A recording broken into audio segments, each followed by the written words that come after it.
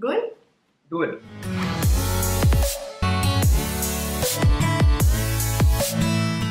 Hey guys, and welcome back to Morgs' Menu. So as you can see, we're doing another taste test today.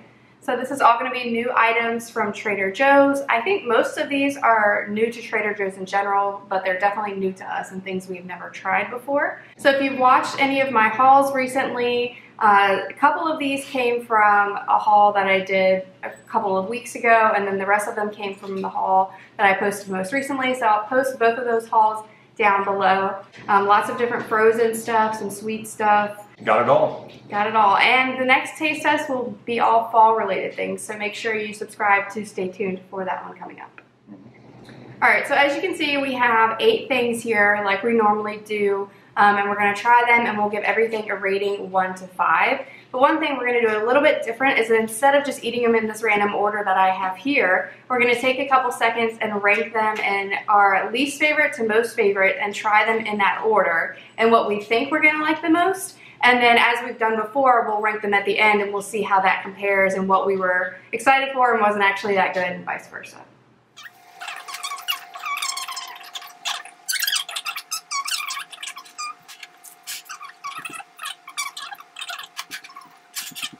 Okay, so this is kind of what we went in and almost ended up being in just like kind of size order. Um, but basically, the thing, I think we're gonna like all of them to be honest this time around. The thing that I'm basically most skeptical about and not sure if it's gonna be good is that microwavable protein muffin down here at the end. Um, and then the thing, two things that we kind of aren't sure where they're gonna put at the top are the mac and cheese balls and the Brazilian style cheese bread.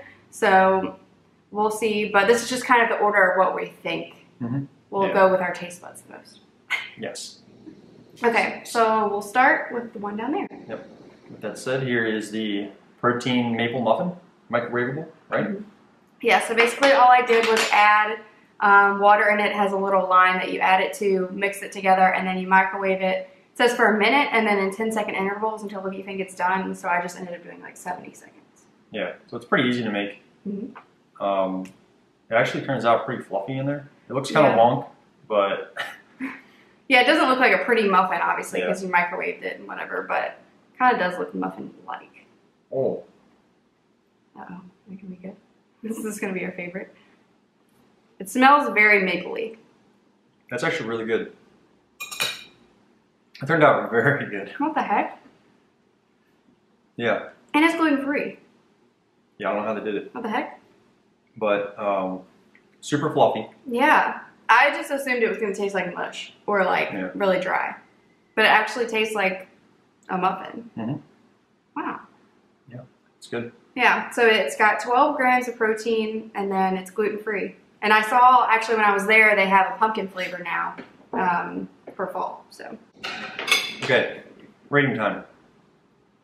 Three, two, one, five. five. Whoa, Oh, a perfect five at the beginning. yeah. I know I haven't tried anything else yet, but a five. I mean, this is pretty good. Yeah, I like it. I mean it's really easy too. Like just as an easy like grab and go breakfast, you could eat this anywhere basically. Yeah. Okay. Cool. Moving on. The next thing we have is everything ciabatta rolls.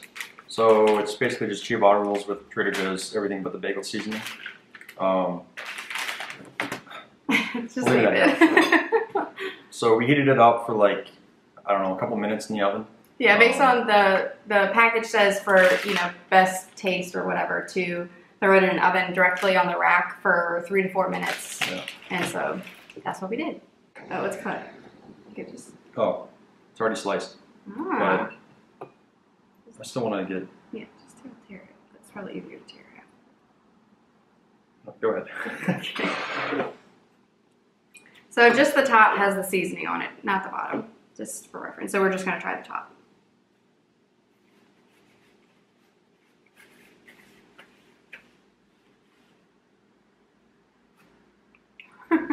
I it just tastes kind of like bread with uh, some seasoning on it. Yeah, I like mean, it, everything bagel, really. I mean, like it's supposed to. it tastes exactly as expected. I would say the ciabatta is a little bit like not as good as I've had before. Mhm. I guess not as fluffy. Not fluffy. It's like hard on the outside and soft on the inside. Mhm. So it's pretty good. I mean, the seasoning's good. I like the kind of combo on top of the bread. But as far as like, is it the best ciabatta roll I've had? No. Yeah. It'd probably be good, like if you made this into like a sandwich or something. And all right, you ready for your rating? Yep. Okay. Three, two, one, three. Three. Yeah. Average. Yeah, it's pretty good. Like if I wanted something different to make a sandwich or I don't know for a holiday or something, I might grab it. But it's not something I just like want to buy every time I go there. Right. What's this? Same seasoning. Already. So this is salmon slices or something? Um, Smoked salmon. Right, so, so smoked salmon with everything but the bagel seasoning. Uh, comes in this nice little packet. Um, I guess we can just use our forks to get it out. Yeah. So, I think you probably want to put this on like, how do you want to serve this? I would think you would serve it on like a bagel or toast or Yeah. like on top of avocado toast or something like that. Appetizing. Ew, that's weird. okay. Here goes nothing.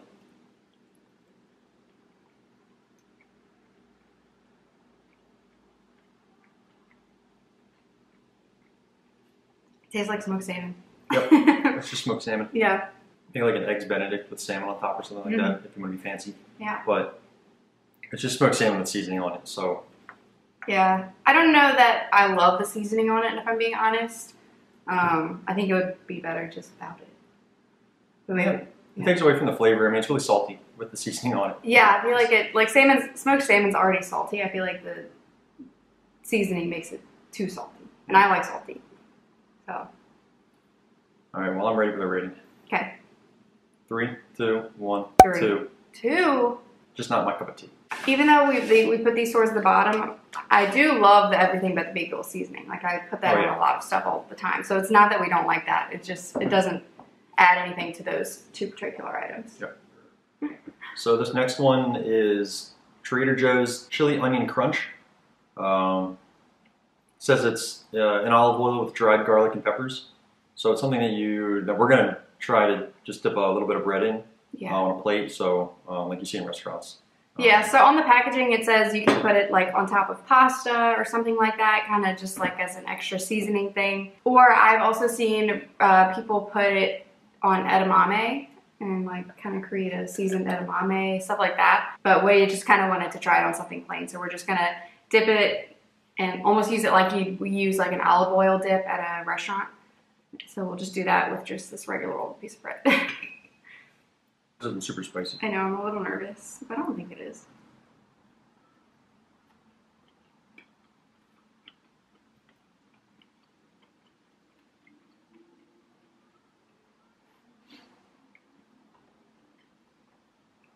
What? It's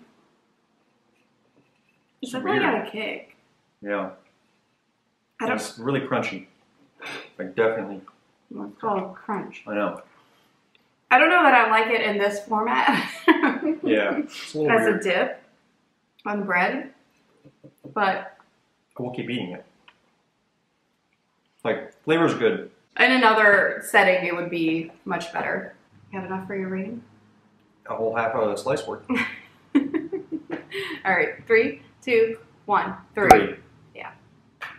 No. It's- So these are no bake uh, butter bars. Um, so uh, you don't have to bake them. Um, Yeah, You're explaining these really bad.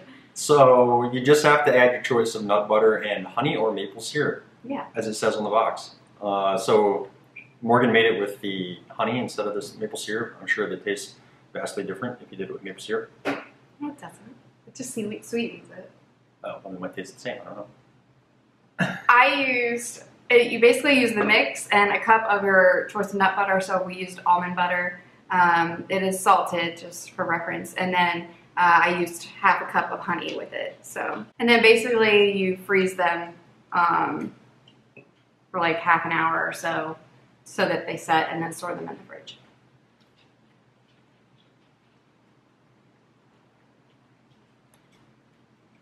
Good. Yeah.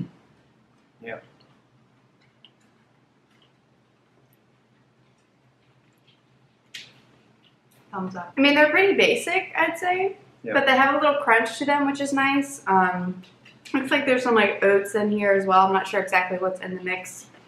Looks like a million ingredients, but they are gluten free. I mean, they're pretty good. It's something different if you wanted to bring a dessert or like a snack or something somewhere.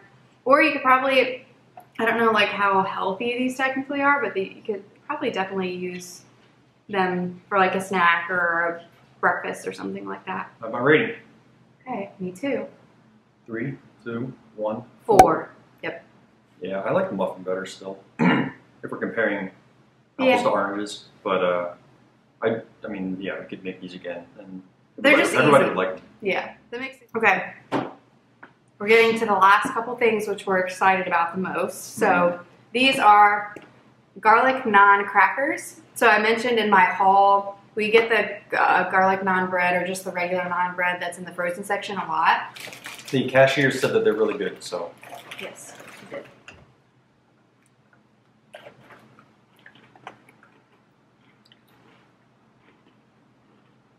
I think we need cheese with this. Yeah, but I want to taste the cracker. Yeah.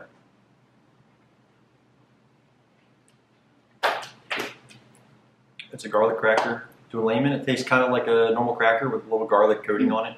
But um, I mean, I like it. Yeah, I mean, it tastes really good, but there's nothing I feel like that stands out with it, I guess, to make it. Like, the shape obviously kind of looks not like a standard cracker, but if you just pulled those out and put them in a bowl on a cheese board, I wouldn't know that they're necessarily naan versus just like a seasoned cracker. Yeah, probably just kind of like a marketing thing, I feel like, to call it naan because you're like, oh. I mean, we got excited for it because we like the naan bread, so I'm Yeah. sure we're not the only ones who are like that. yeah. All right. You ready? Mhm. Three, two, one, four. Yeah, Yeah. I mean, they're good. There's, it's just a cracker. Yeah, So it's a cracker. nothing. But I feel like if we go to trade, well, I don't know. It doesn't beat out the pita crackers though. No, pita crackers are five. Always. Yeah. So we're down to the final two. So these are both frozen. Uh, so the first we're gonna try are the mac and cheese balls. So they're basically mac and cheese bites. I think it's just mac and cheese in a like kind of crust. They, don't, they almost look like thick chicken nuggets to me right now. Yeah, a little bit. um, but you basically just bake them in the oven for like 17 to 19 minutes, and then that's it. I'm sure they'd be good in the air fryer too, but I just did whatever it says on the instructions. All right. Just one go.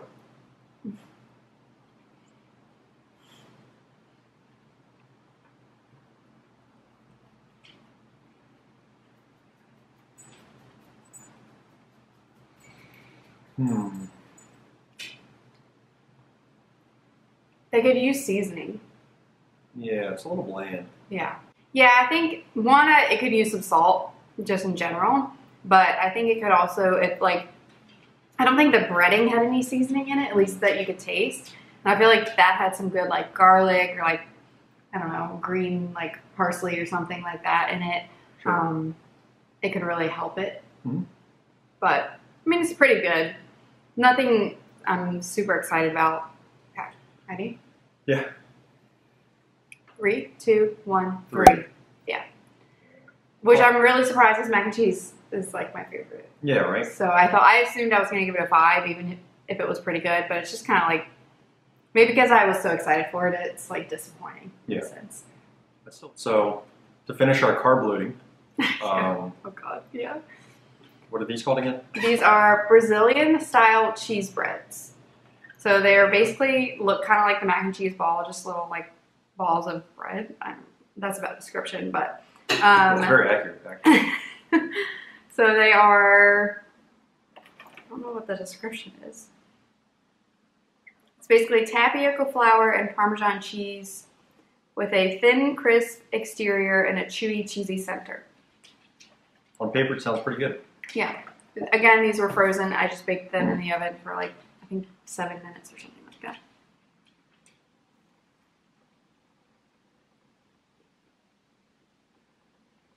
Yeah. Mm-hmm.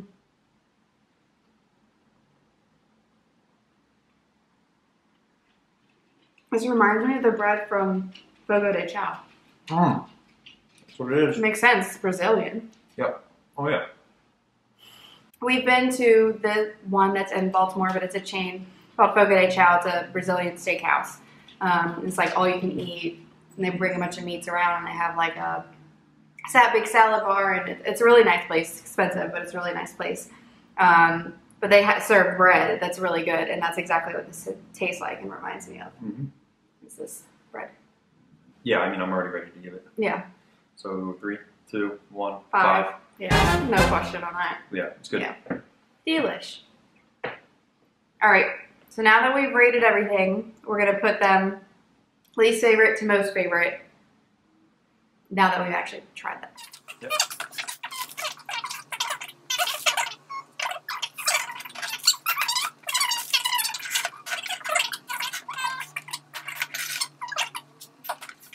And we're done. So we have the chili onion crunch as our kind of least favorite thing. Maybe that'll change once we put it on other stuff, but it just, I wasn't that impressed with it. Then we have the salmon. Again, I think I would just get regular salmon because the seasoning didn't do much for it. Same thing with the ciabatta rolls, they were just okay. Mac and cheese bites, right in the middle, um, because they just weren't that exciting and needed some seasoning. Nut butter bar mix, crackers, and in first place we have our Brazilian cheese bread. So the one we thought we would like the most, we ended up liking the most. Oh wait, the muffin. Oh, you hit it. Just kidding. I, this was behind, so I knew. that- I was like, I looked down and I remember I said that was in the middle, and that didn't make sense because we don't have a middle. Okay, so we put the muffin mix in between the two. So Yep. that one was at the bottom, now it's second and to the now top. it's second to the top. And Mitch wanted to put it first, but this was way too good. Yeah, I mean, they're both pretty good. But I agree with Morgan's decision. So I hope you guys enjoyed today's video and another taste test. Like I said in my haul and kind of at the beginning of this video, there will be another one soon of a lot of fall flavored items. So we have pumpkin stuff, maple stuff, we have sweet and savory stuff this time. Um, all new stuff, different from what we tried last year. So if you haven't seen last year's video, I'll link that down below. Um, but make sure you follow me on Instagram for channel updates when I post the next taste test. And make sure you subscribe so you don't miss out on any of these videos that I post on Wednesdays and Sundays. Thanks again for watching Morgs' Menu and hope you have a great day. Bye guys.